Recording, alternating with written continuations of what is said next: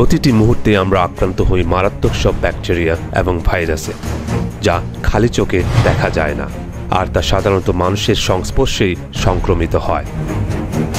তবে একটু সাবধান হলেই তা থেকে আমরা বাঁচতে পারি।